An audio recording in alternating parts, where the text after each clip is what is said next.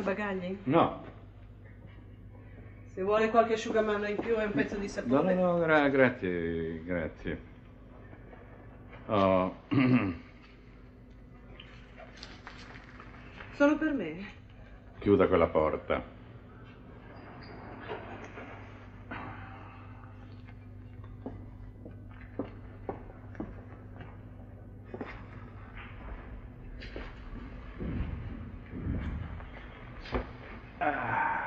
Mi pare di conoscerla, però non ricordo dove ho visto la sua faccia.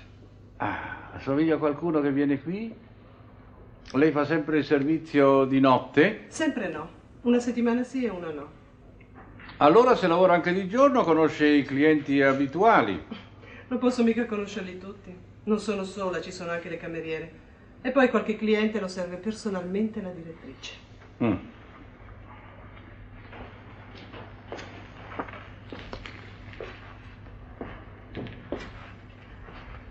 Guardi un po'. Conosce questa donna? Viene mai qui con un uomo? Le piace scherzare. Perché? Perché questa è la fotografia della padrona. Non sarà mica il marito lei per No, no, no, no, no, no, no, per carità, stia tranquilla, stia tranquilla. Ah, e la vede spesso? Di notte mai. Beh, qualche volta di giorno. Perché ha una camera in albergo? Ha un appartamento al primo piano. Ah, e ci sta abitualmente? Io non so niente. Mi capita di vederla di rado, gliel'ho già detto. Del resto sono qui per fare il mio lavoro, non per sorvegliare la padrona. E sa dove abita? Come vuole che lo sappia? Beh, saprà almeno il suo nome, no? Beh, ho sentito la direttrice che la chiamava signorina Bosch. E quando viene si ferma a lungo? No, non lo so, non potrei saperlo neanche se mi mettessi a spiarla. Quell'appartamento è collegato con l'ufficio della direttrice e con l'ingresso di servizio per mezzo di una scala. Perciò la signorina può andare e venire quando vuole, come vuole, senza che nessuno di noi la veda. Vabbè, ma può anche passare per la scala principale, no? Si capisce? Vabbè, prenda.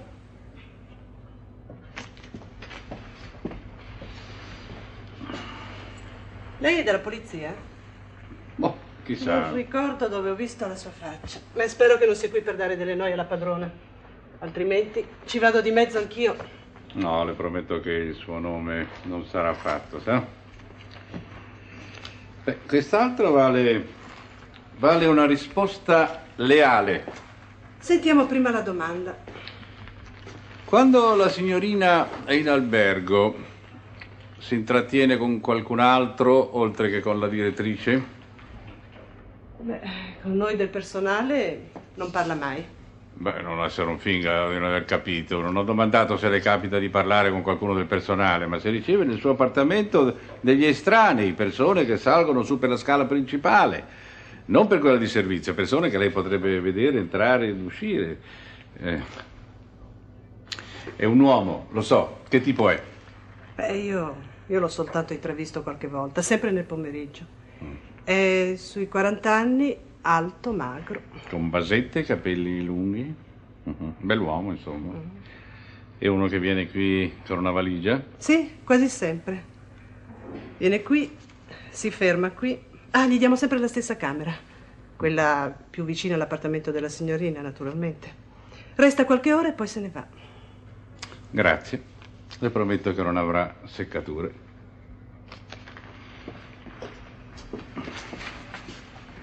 Non ci sarebbe per caso una terza domanda che meriti una risposta leale? No. Credo proprio di no. Pazienza. La paura. Alla base c'è la paura. Tutti hanno paura. Paura degli altri, di quello che dicono, di quello che pensano. Jean-Loup, la paura gli ha fatto aprire la bocca. La paura di avere noia dalla polizia, di vedersi chiudere il locale alla minima infrazione.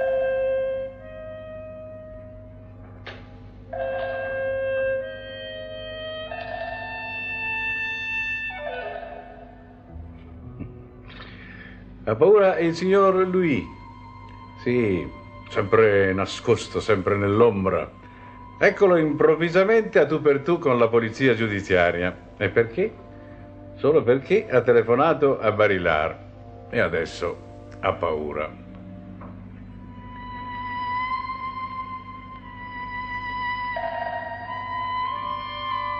Carnà Barilar, già, chi può avere più paura di lui? Un mercante di scatole, un piccolo uomo che non si contenta di una donna sola. Una donna sola. Anche Josefina è sola. Sì, controllata, a vista, da Lucas e dalla Point. Non può uscire, non può telefonare. Ed è così disinvolta che deve morire di paura.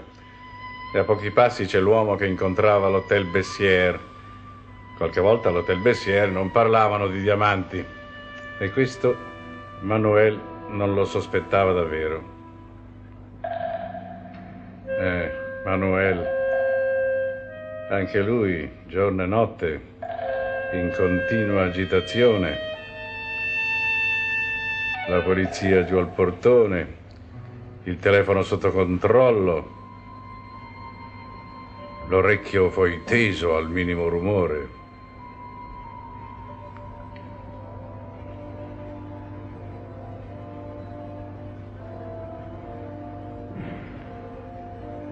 La rivoltella a portata di mano. e quella porta. Chi c'era dietro quella porta? Manuel, Barilar, Josephine, Josephine aggressiva con tutti e così dolce invece, remissiva con Manuel, sempre pronta a tirar fuori le unghie per difenderlo, per difenderlo, per difenderlo, per ucciderlo. Ah, la paura. Maigret. Mm. Megre. Che c'è? Vedi, sei tanto stanco Mm. che, No. che ti addormenti sul divano. Ma perché non vieni a dormire? No, Eh? lasciami che 5 minuti ancora, sto così bene. guarda. 5 minuti, vengo subito, scusa. Mm.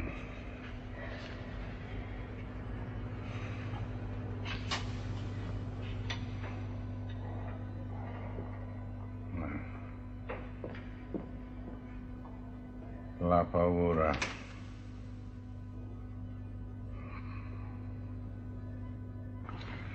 Che cosa si propone di fare questa mattina, Maigret? Beh, prima di tutto un salto in Rue Lafayette. C'è una, una birreria là dove si svolge il mercato delle pietre preziose. È una nota di colore, signor giudice. I parigini, anche quelli che passano ogni mattina per Rue Lafayette, ignorano che i piccoli uomini malvestiti che chiacchierano a gruppetti fra di loro, discutono, hanno in tasca quasi tutti delle autentiche fortune. Sì, sì, sì, fortune che passano da una mano all'altra sulla base di una sola garanzia. La fiducia reciproca. Io conosco alcuni di questi commercianti, a volte mi hanno reso importanti servizi, sa. Vorrei ricapitolare un po' la questione, se permette. eh? Secondo lei, Manuel Palmari era il capo dell'organizzazione che lui stesso aveva creato e diretto per 15-20 anni. Agli inizi, quel suo bistrò di infimo ordine era convegno di piccoli malviventi. In seguito si raffinò e si trasformò in un decoroso ritrovo, a copertura di una attività criminosa solo apparentemente saltuaria, ma in realtà quotidianamente studiata, preparata, attuata. Con una telefonata al momento giusto, Palmarì convocava ogni volta uomini diversi, due o tre in genere, da diverse parti della Francia. Gli uomini arrivavano, facevano il colpo e rientravano nell'ombra. È così o no? Sì. È così.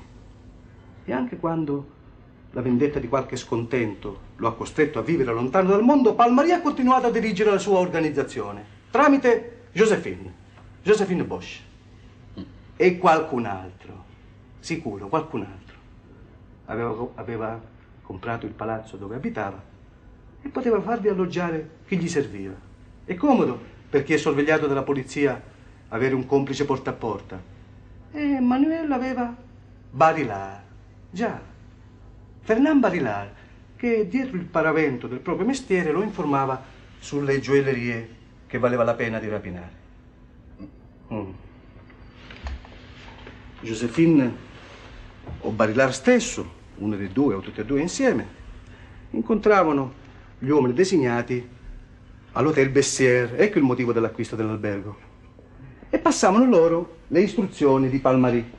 Poi, la volta successiva, ricevevano la refurtiva pagavano i compensi e gli esecutori del colpo ripartivano, senza nemmeno sapere per conto di chi avevano lavorato. Ecco perché anche quei pochi ladruncoli che in tutti questi anni siete riusciti ad arrestare non hanno potuto condurvi sulla pista giusta. Praticamente non vi sono stati di alcuna utilità.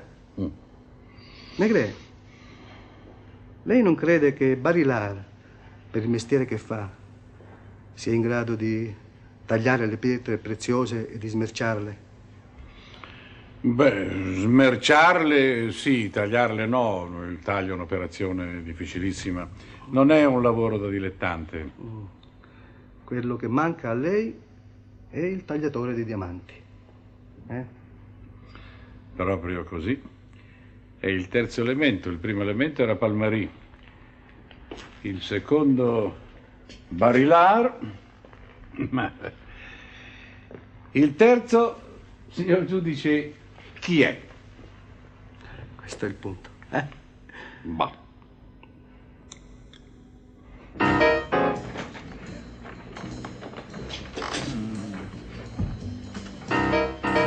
Vabbè, vabbè, mi darò una risposta martedì prossimo, poi partirò. Oh, commissario Megre, buongiorno. Scusate, scusate. Come mai è qui? Cosa c'è? Un altro furto di gioielli? No, no, no. Prego, prego, si accomodi. Ah, grazie. L'ultimo è stato quello di giovedì. Beh, se la mia teoria è giusta, passerà qualche tempo prima che se ne verifichi un altro, eh. E quella persona che cercava, l'ha trovata? Ma che sono anni che la cerco, Berenstein, le cose stanno precipitando, se non la trovo adesso penso che non la troverò mai più. Eh, io poco fa ho domandato ancora ai miei colleghi. Sì. E noi conosciamo tutti i tagliatori di diamanti che, che abitano Parigi, sono pochi, lei lo sa, e fanno parte del nostro piccolo mondo. E che per vivere, per lavorare, dobbiamo contare soprattutto sulla fiducia degli altri. Ed io posso garantire di tasca mia l'onestà di tutti i tagliatori che conosco. Vede commissario, ognuno di loro ha una specie di pedigree, perché il mestiere viene trasmesso di padre in figlio e non ce n'è uno che si azzarderebbe, non dico a tagliare, ma addirittura a toccare una pietra rubata. Eh, bevo una birra, commissario? Sì, volentieri. Eh, per favore, due birre. Se è possibile chiara. Sì, chiare. Ecco. Mm. Grazie. Prima della guerra i tagliatori erano radunati principalmente ad Anversa, ad Amsterdam e chissà perché quasi tutti originari dei paesi baltici. Eh, l'avanzata tedesca li, li spazzò via. Pochi ripararono in Francia e molti invece si recarono negli Stati Uniti. Poi finita la guerra gli americani tentarono di farli restare con delle offerte favolose e qualcuno restò, però molti tornarono. Sa, avevano nostalgia del loro paese, del loro piccolo angolo Molti si lasciarono sedurre da Parigi e sono quelli che oggi abitano al quartiere Marea al 78 anni. Quando ci fu l'invasione tedesca, lei ha detto qualcuno venne in Francia, eh? Sì, sì, erano quasi tutti ebrei e quasi tutti finirono nei campi di concentramento nelle camere a gas. Quasi tutti, ma qualcuno però si salvò. Penso avrei dovuto pensarci prima. Arrivederci, Bernstein, mi scusi tanto. Ma come? Scusi. Ma come, commissario? Ma le, le birre! Eh, sarà no, per no. un'altra volta, mi scusi tanto. Prego, fretta, c'è il ca fuori che mi aspetta in macchina. Arrivederci, commissario, arrivederci.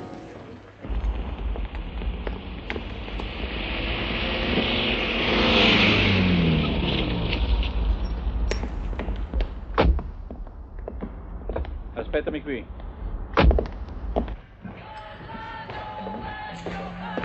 Il signor Classe è uscito? No? Lurti, vieni con noi.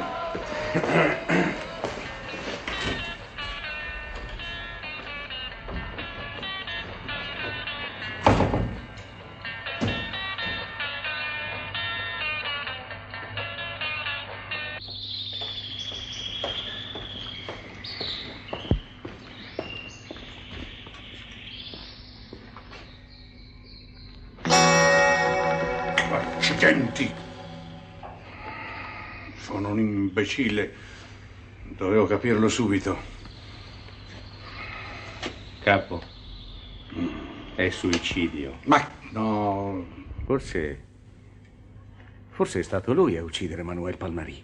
Eh, E poi il rimorso. No.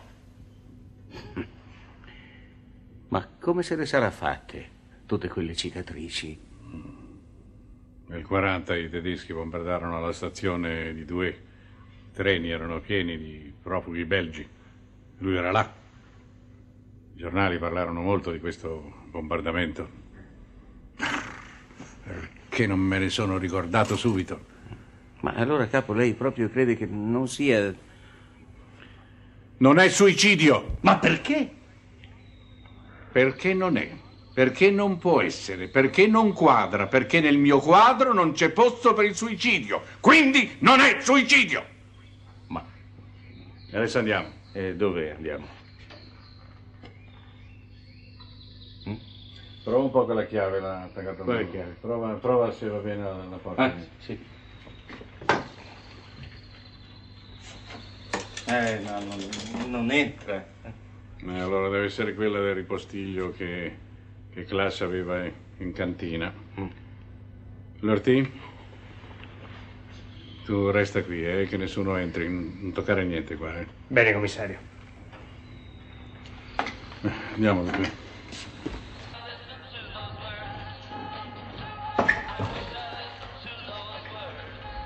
Scusi, signora, per favore, da che parte si va nelle cantine? C'è la scala in fondo. Vengo anch'io.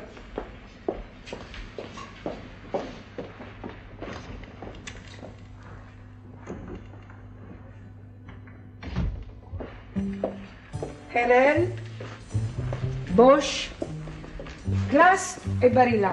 Classe.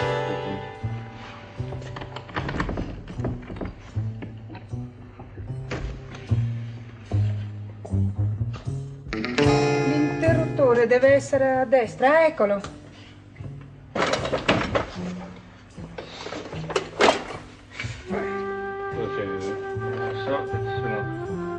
Eh, vuoto, vuoto. scatole. Eh, ma capo è pieno di cianfrusaglie. Vabbè, vuoto, vediamo un po' cosa c'è. Mezzo tutta sta roba. Beh, che c'è? Eh, un po' di polvere, impressioni.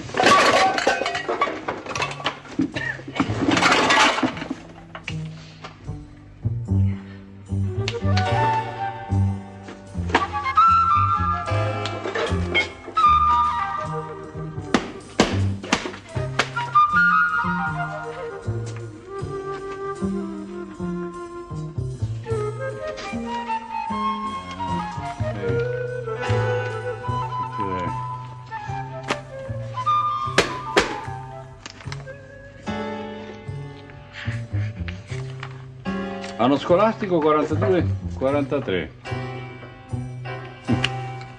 Vedi, però questi... Eh no. Le figlie e i nipoti del signor Klaas morirono a due, vero? Sì, nel 40.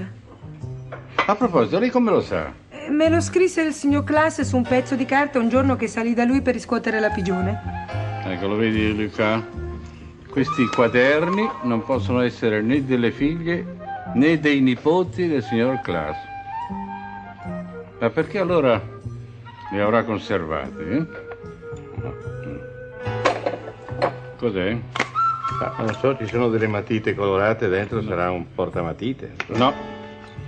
No, questo è un astuccio da gioielliere. Sì.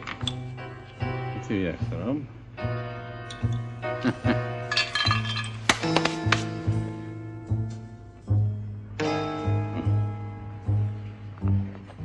Vogliamo andare?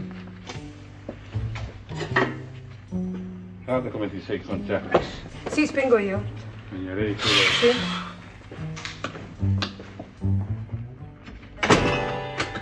La chiave, signora. Eccola. Grazie. Questo è di Barilar, vero? Sì, Barilar. Mm. Vada pure, signora, vada pure. Grazie. Me ne vado? Sì, sì, vada pure.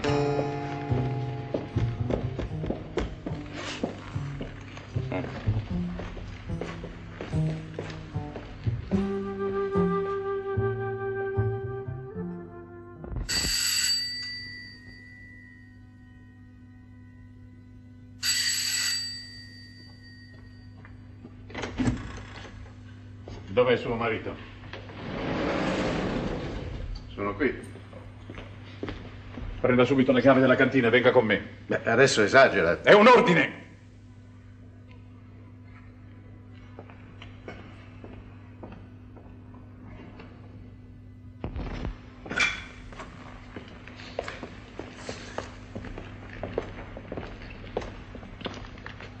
Tu apra. Ma commissario, Le ho detto apra. andiamo.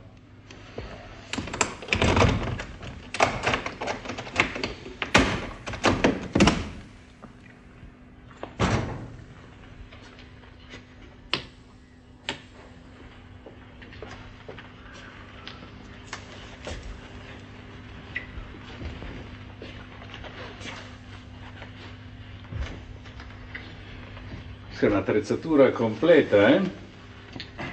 Per la lavorazione dei diamanti.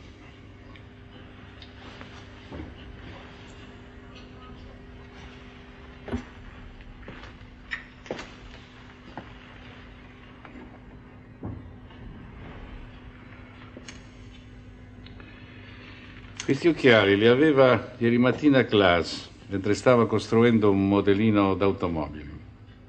No, Luca, non è suicidio. Vuole avere la bontà di spiegarmi qualcosa? E lei vuole avere la bontà di invitarmi a casa sua? Portalo via, Luca.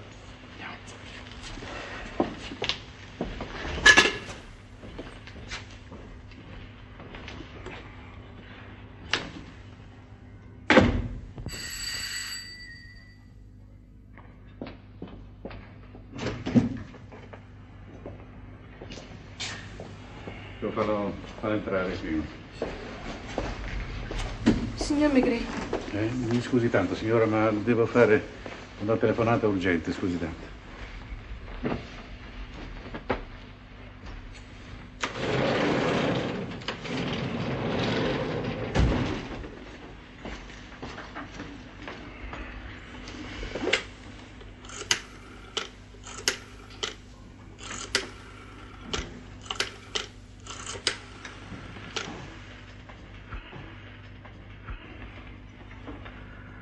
Pronto, signor giudice? Sì, sono Maigret. Sono un imbecille, mio caro giudice. Sì, c'è un altro morto, il Rue des Acacias. Mi scusi se non le do subito tutti i particolari. C'è un uomo impiccato in una delle soffitte. sì. Il medico legale accerterà che non sia impiccato da solo. Eh beh, un vecchio, un- sì, poi le dirò. Ma posso chiederle un favore? Ecco, grazie. Faccia in modo che la procura non intervenga subito. Io mi trovo in un appartamento al quarto piano, per ora non vorrei essere disturbato, eh? Allora, a presto, eh, signor giudice? Eh no, eh no, oggi, oggi non posso, proprio non faremo colazione al Pulcinella, peccato, eh? Beh, un'altra, un'altra volta. Può aspettarmi, signor giudice, nel mio studio, eh? La ringrazio. Arrivederla.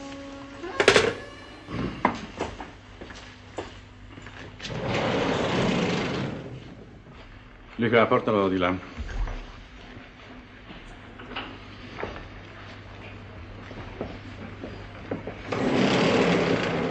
Lei crede che mio marito... Io non credo niente, signora, si sieda, si ciega e cerchi di stare calma.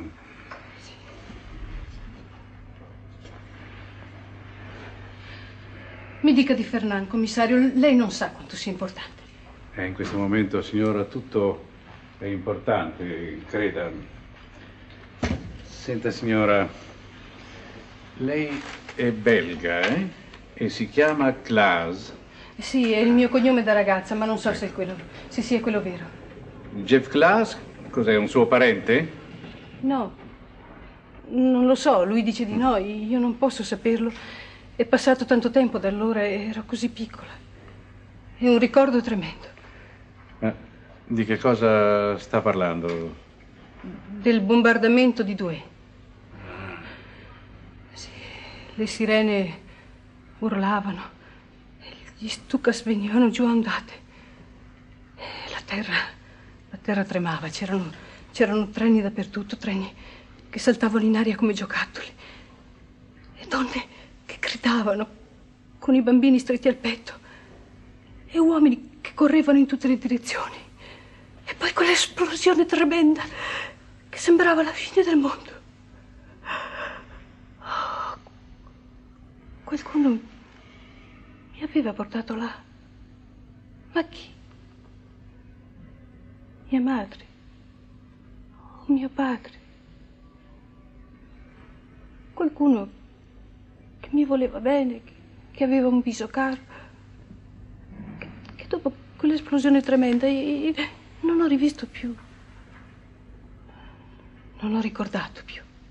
E quanti anni aveva? Quattro, credo, forse meno. Ma dove incontrò Jeff? Non lo so. Non lo ricordo, è tutto così confuso. Mi pare di, di avere camminato con un uomo dal viso fasciato, che mi teneva per mano. E quell'uomo era Jeff. E perché la portava con sé? Ero io che andavo con lui. L'ho capito ripensandoci anni dopo.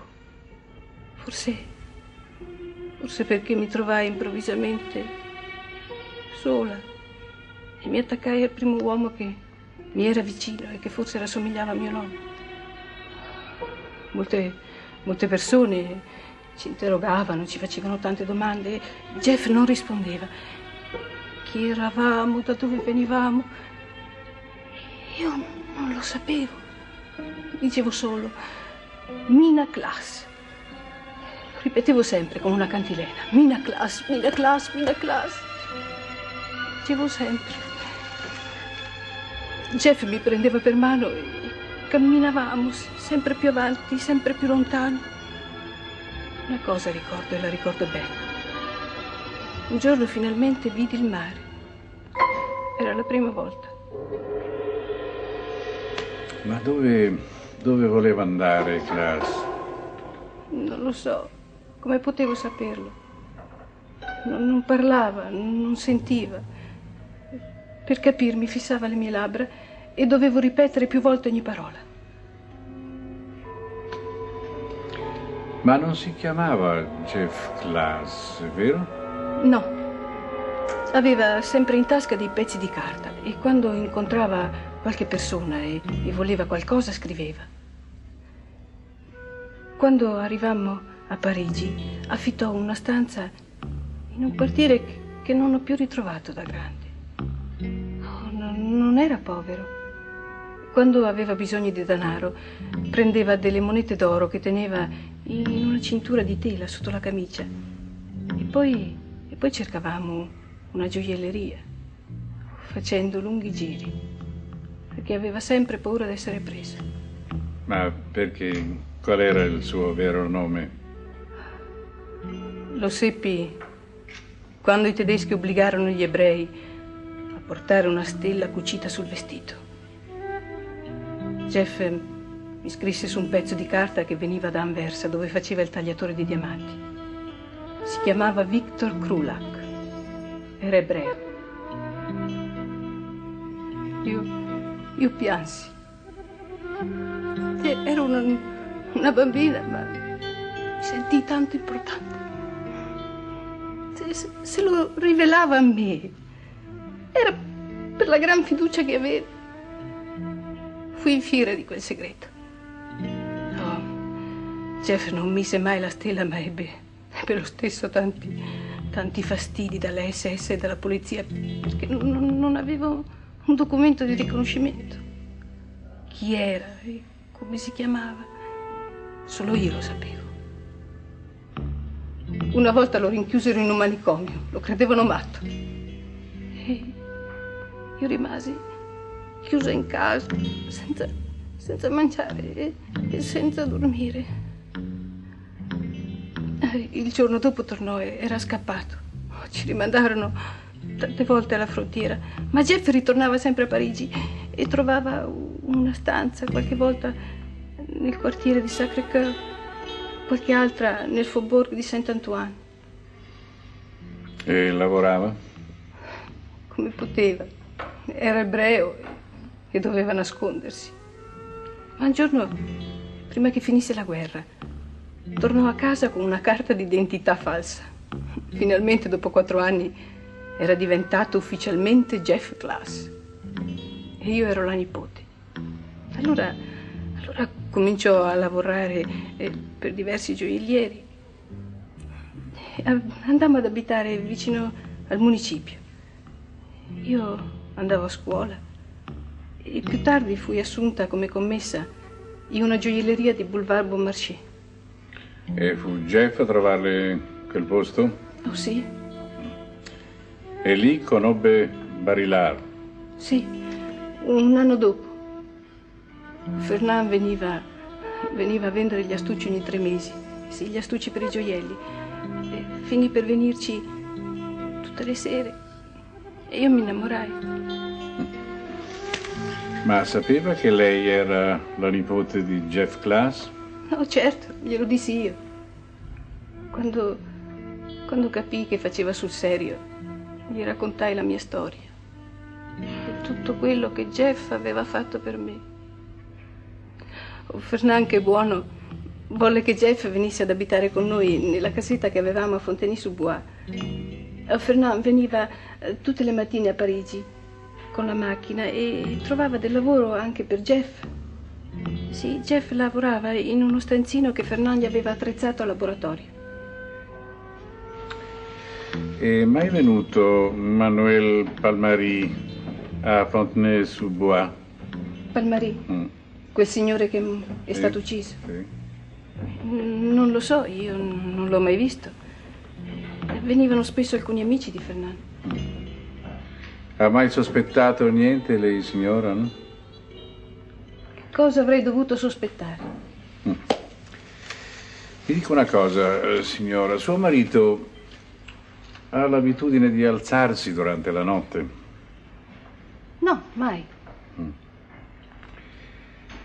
Lei prende qualcosa la sera prima di andare a letto? Qualche volta una tazza di camomilla, ma non sempre. Si addormenta subito? Sì? Perché? No, non prende, prende mai sonniferi. Oh no, mai. Allora mi dica un po'. Chi prende queste compresse? Non so. Ah, ricordo. Fernand eh, due anni fa soffriva di insonnia e un amico gli consigliò di comprare questo sonnifero e Fernand lo comprò. Due anni fa? Sì? Perché? È perché, vede, questa confezione, signora, è stata messa in vendita soltanto tre mesi fa. Sì. E il tubetto contiene solamente cinque compresse. Lei si è svegliata questa notte? No, No. Ieri sera ha bevuto una camomilla? sì. Ma che vuol dire, commissario?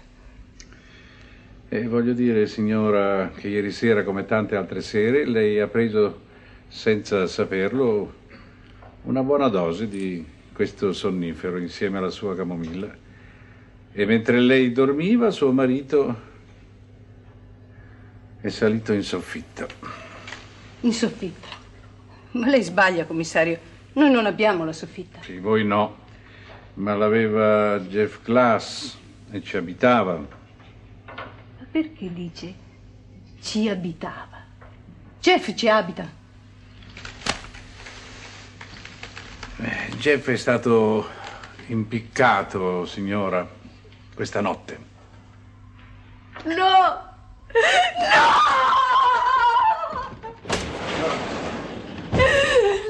Dimmi che non è vero, Fernando! Dimmi che non è vero! Tu non puoi aver fatto questo, Jeff, rispondimi, Su, rispondimi. Luca, portala, portala via, su. Portala di là, via.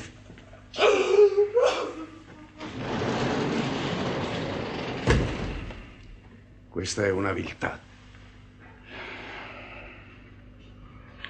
Che cosa è una viltà, Barilar? Prendersela con una donna. Se aveva delle domande da fare, poteva farle a me. Guardi, io non... Non ho più domande da fare a lei perché so già tutte le risposte. E lei lo ha capito, lo ha capito da ieri sera. Lo ha capito tanto bene che ha ritenuto indispensabile eliminare l'uomo che era il punto debole della vostra organizzazione. Victor Krulak, detto Jeff Glass. Pover'uomo, dalla mente annebbiata che aveva rinunciato alla propria onestà pur di restare accanto alla bambina che un giorno lo aveva preso per mano. Lei è un mascalzone, Barilard. Vede, ci sono mascalzoni e mascalzoni, ma a qualcuno posso anche, posso anche stringere la mano. Vede, a, a Manuel Palmari, per esempio, sì. Ma lei invece no, lei è della specie peggiore, di quella che a guardarla in faccia viene voglia di, di fare a pugno o di sputare. Vada avanti, vada avanti, signor Megret.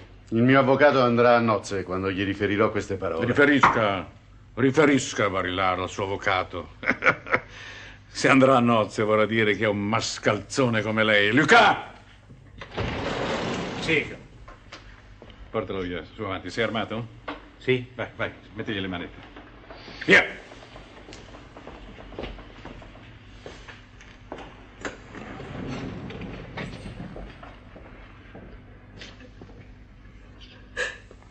Non me ne voglia, signora, per il dolore che prova e per quello che ancora le dovrò dare. Ma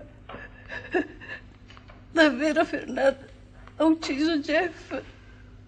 Temo di sì. Ma perché? Beh, bisognerà pure che lei si convinca di questo, mia povera signora.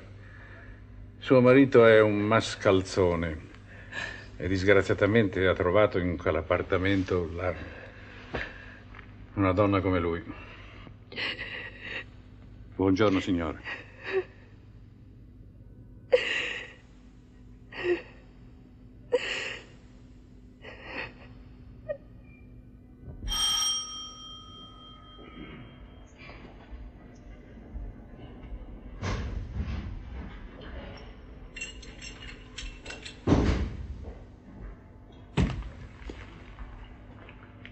Vieni con me, Josephine.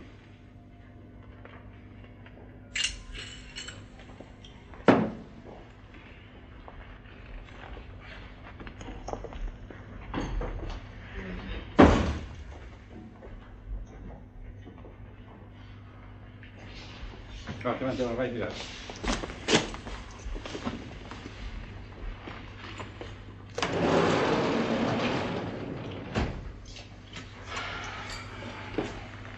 Allora? E allora è finito tutto. Siamo alla resa dei conti. Tre anni, eh? Tre anni bloccato qui. Gli rimanevi solo tu.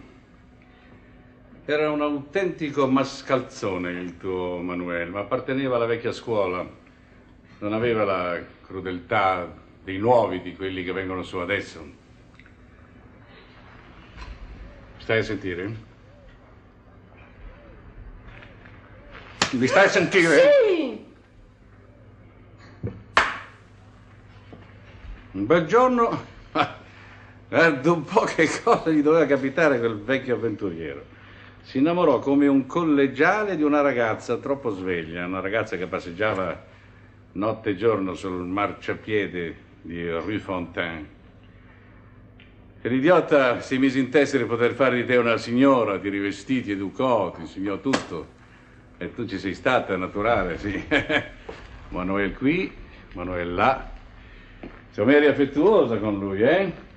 Hai sete, come ti senti? Vuoi che ti apra la finestra? hm? Un bacetto dalla tua Josephine? Dalla tua Josephine! Da quanto tempo sei l'amante di Barilar?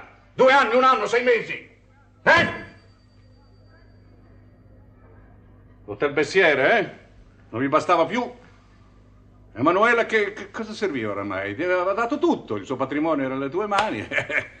C'era però il rischio che vivesse ancora a lungo, altri 10-15 anni. Io non gli davo tregua, è vero, un giorno o l'altro ci avrebbe lasciato le penne, ma in questo caso eh, la rovina di Manuel sarebbe stata anche la vostra rovina, tua e di Barilar. hm? Continua tu adesso. Andiamo, guarda, sei stata tu? Io Eh? non ne so niente! Dov'è Fernando? E al des Orfèvres. Che cosa ha detto? Oh, non conta quello che ha detto lui, conta quello che so io. Un'altra persona è stata assassinata questa notte. Chi? Chi? Andiamo, prova a pensarci. Manuel viene ucciso, eh? E io sospetto te che eri la sua amica. È un certo Barilar che vende astucci ai gioiellieri.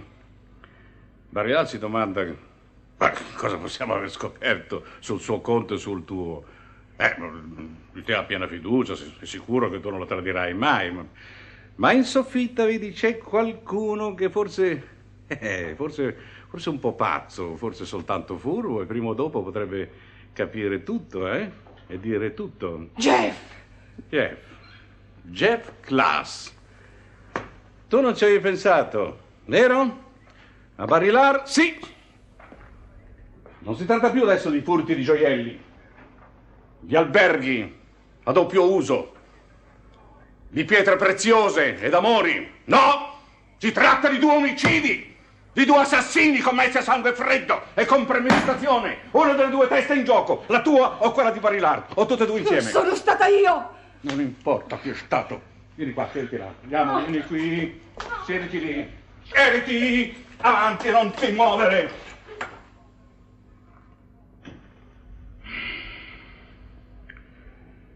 Ma... Manuel era sempre, sempre qui, eh? Con la radio, i giornali a portata di mano, vero? Dove metteva la rivoltella? Non lo so. Lo sai, se lo sai. Tutte le mattine Manuel la metteva qui, qui dietro alla radio, sì. Di giorno qui e di notte in camera sua, accanto al letto, vero? Forse. Non dire forse, maledizione, che- lo sai che è vero, eh?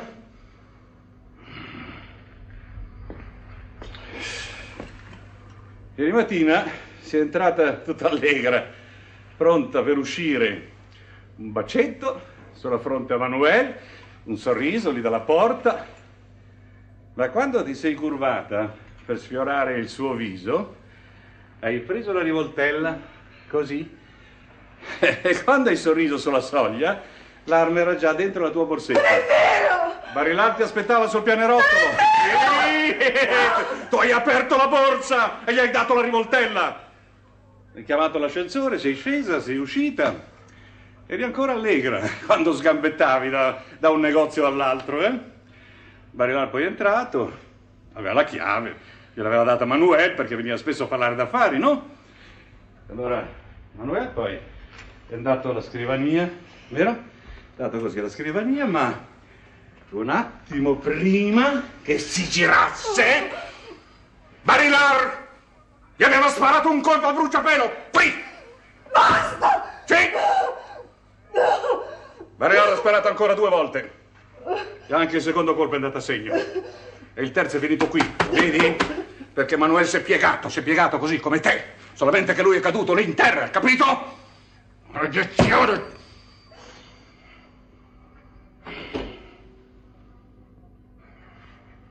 Andiamo, vieni, via, andiamo.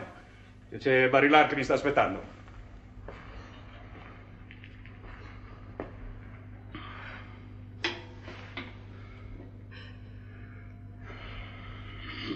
Lo vedrò.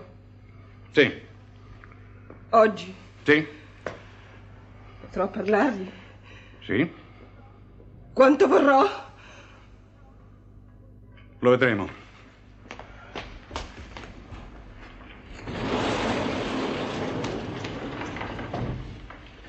Capo, mm? ho fatto venire un'altra macchina. Bravo. Posso andare a vestirmi? Sì, vai, vai, vai. Allora. E Baron? Quando sarà pronta poi lo... la porterai al des Orfèvres. Baron rimarrà qui fino a quando verranno ad apporre i sigilli. Eh? Benissimo, bene. Arrivederci. Eh, eh, pochi minuti fa ha telefonato Lapointe. Sì. Ha detto che il giudice Anselin è là che aspetta e mm, nel frattempo saltella e, e s'accuccia. Cosa? Saltella, sì. Eh, così ha detto, io riferisco. Chi l'ha detto? Eh, Lapointe. Beh, vabbè. Arrivederci.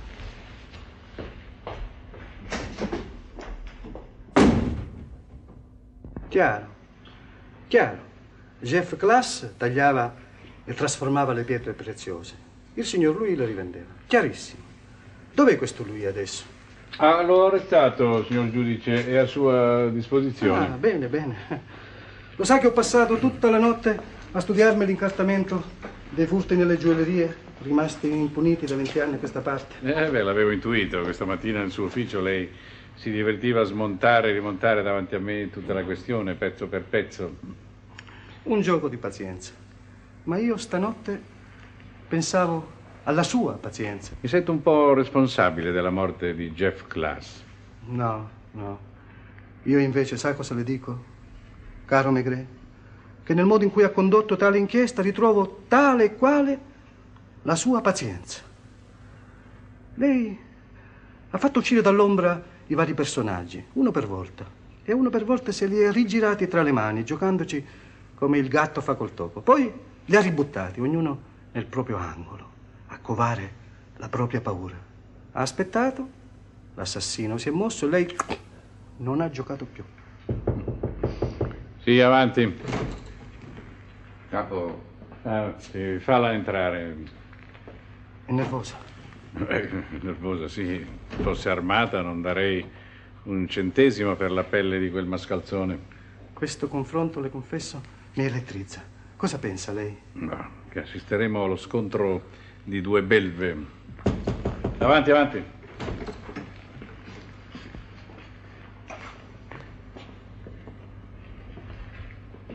Sì, mette qua.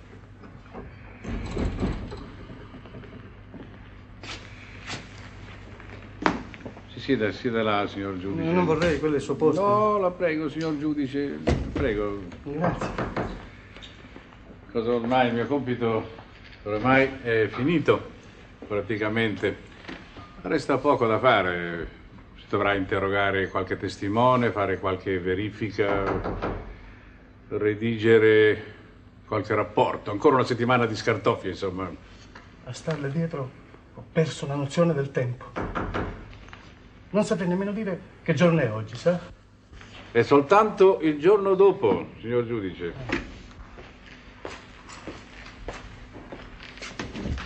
Avanti.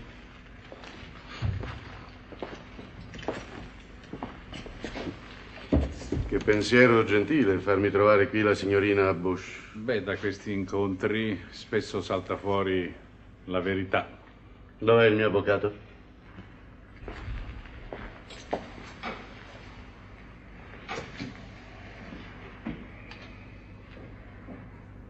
Cos'hai da guardare, stupida? La verità, signor commissario. Eccola la verità. Non sono stata io. Non sono stata io! E dillo! Dillo anche tu che io non c'entro! Non c'entri. Ha studiato tutti i particolari per mesi e mesi e Non è adesso non c'entri.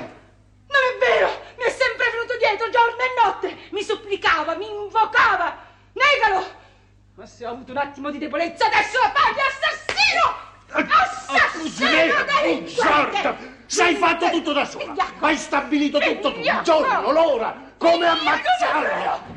Non è vero! Io gli volevo bene a Manuel! E allora gli volevo perché bene a Manuel! Perché l'hai ammazzato allora? Vigliacco! Perché volevi me! Perché volevi me! Vigliacco, per salvarti! Anche tua madre manderesti alla ghigliottina! Vigliacco! Vigliacco! Diceva, diceva di avere un piano perfetto! Ah! Che è riuscita il suo piano perfetto! Io piano se per tre anni mi hai istigato. Hai pianto perché te l'ammazzassi il tuo Manuel. Manuel! Manuel non t'è bastato! Due li hai ammazzati! Te ne sei andato a cercare un altro in soffitta, eh? Che t'aveva fatto, Jeff? Dillo! Ammazzo! Dillo! Ammazzo! Che Basta! t'aveva Basta! fatto? Che t'aveva fatto, Jeff? Ragazzi, ferma! Assassino! Ferma! Assassino! Sei stata tu! Via, Per via! tre anni ti ho Via! creduto! Assassino! Sei stata tu! Via! Lo dirò a tutti quello che sei!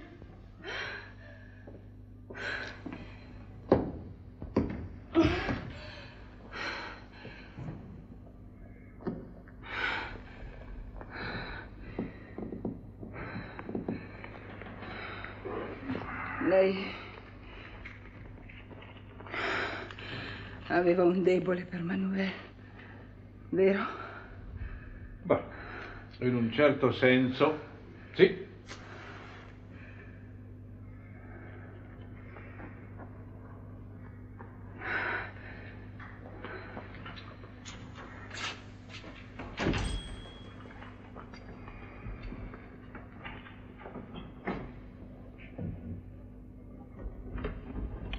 Senta, Megre, secondo lei, quale dei due... Eh, quale dei due? Il giudice è lei, no? E adesso è a far suo. Io glieli consegno così come sono. Non è stata una scena piacevole. No, non è stata una scena piacevole. Vede, Megre, in tutta questa storia così squallida, così cattiva, così, così animalesca, pure c'è un dettaglio che mi intenerisce. Non posso fare a meno di pensare alla bambina che nell'inferno di due mise la sua piccola mano in quella di un uomo dal viso fasciato e camminò con lui, senza sapere dove andasse e dove l'avrebbe portato.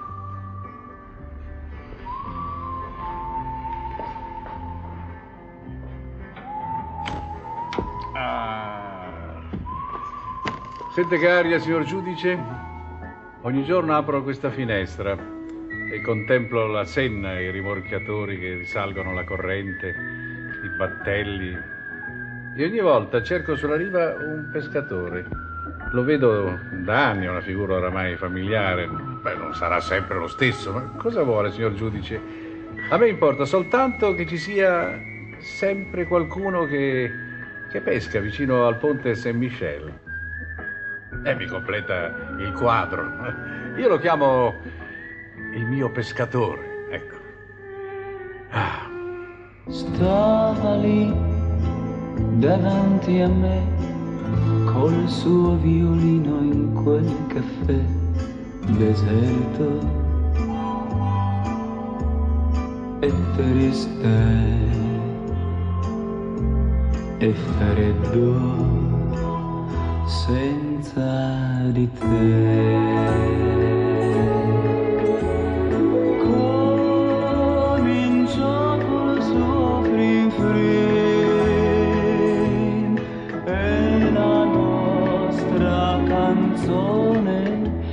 Suonò. Era